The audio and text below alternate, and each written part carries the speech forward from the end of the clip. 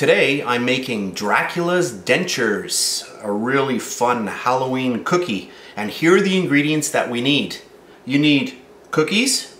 These are my pecan chocolate chip cookies. I'll put a link to this recipe at the end of this video. You also need buttercream or any type of icing. I've got my buttercream. This is a Wilton Basic Buttercream recipe. I'll put a link to that as well at the end of this video. I'm using some Wilton Red food coloring. We also need mini marshmallows. Those are going to be for the teeth.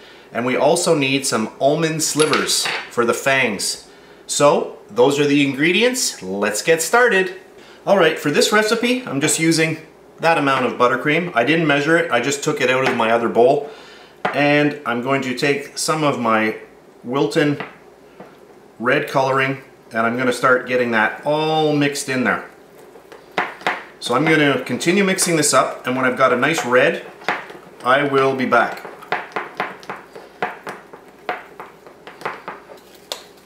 Alrighty, so I've been mixing this up and that looks pretty good now.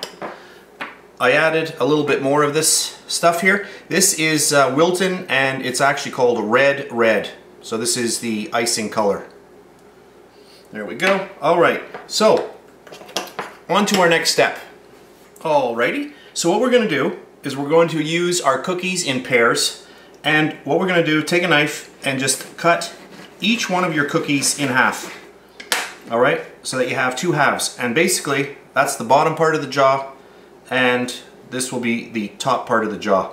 And just a little tip, if you don't want your cookies to crack, don't push down. Use, use a knife that has a serrated edge and just basically saw.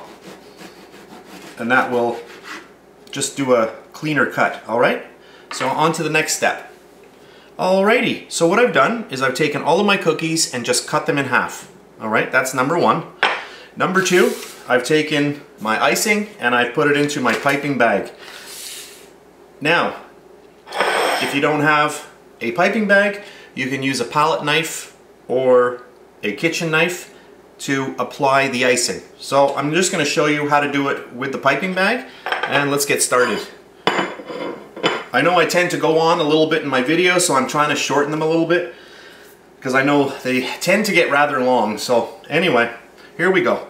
All right, so let's take, we've got two pieces here. There we go. And we'll turn it around this way. And this is going to be the bottom part of the jaw. And I'm just going to zoom in a little bit. Alrighty, so what I'm going to do is I'm just going to basically pipe some icing just along here. And that is going to be the bottom jaw, and that is the gum line. Then, this is where we bring in our little teeth, which are the mini marshmallows. So here they are here. And so what I'm going to do, and I'll just put these here so you can see them.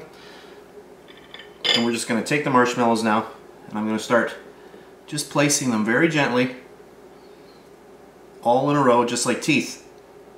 Now, what's nice about this buttercream is that if you leave it out a while, it's very, very easy to push the marshmallows into the icing. So if you have it in the fridge and it's rather hard to work with, let it warm up a little bit. So there we go. You can actually start seeing that it's starting to look like teeth. Doesn't really matter how many you want to get in there. There we go. How's that look? Pretty good, eh? All right, now I'm going to grab the other part. And let's just make sure that we do the proper placement here and go along the front. Just like that.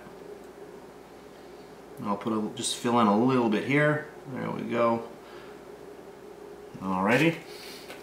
And if you do make a little mistake, or you just want it a little bit more perfect, you can just kind of round it off. And like I said, if you don't have a piping bag, you can just use a knife and just apply the icing like that. All right, so at this point now we've got that done. So what I'm going to do now is I'm going to take the top part of the jaw and I'm going to place it right on top here. And then without breaking it, you want to just give it a little bit of a squeeze. And if some of the teeth want to pop out, just pop them back in. And there we go. All right, look at that. All right, so on to the next step. Alrighty, and the last finishing step is to add Dracula's fangs. So I'm just going to turn this slightly so I can actually see what I'm doing here. And we just want to place his fangs.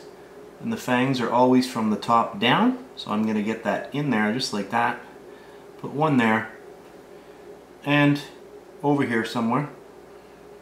And you can place them wherever you want. I'll just say right there.